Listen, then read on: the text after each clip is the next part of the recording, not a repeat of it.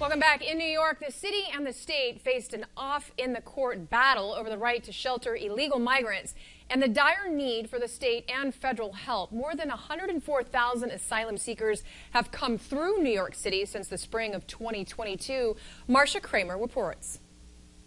No one should be surprised at what we are facing because if we don't stop the flow and if we don't allow people to work, uh, this is going to have a major impact on every delivery of service for the city of New York.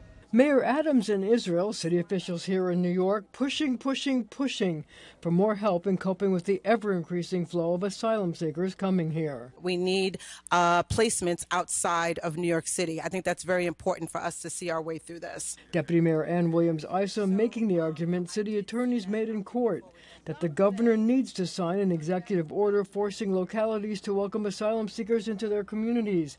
Legal aid attorneys joining the city. We would all be better off if, you know, the governor would take control of the situation, would um, ensure that people could go where they need to go. The governor was nearly 250 miles away, eating a hot dog and extolling the virtues of the New York State Fair. The 800 pound butter sculpture.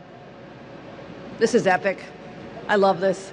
City officials say allowing the migrants to get work permits would help dispel some of the reluctance of other localities to put out the welcome mat having work authorization will make it much easier for us to, to, help resettle migrants to other jurisdictions, many who right now are hesitant because they don't want to have a group of people that are in their towns or in their um, communities that can't work. There's a lot of misperceptions around who migrates during forced migrations.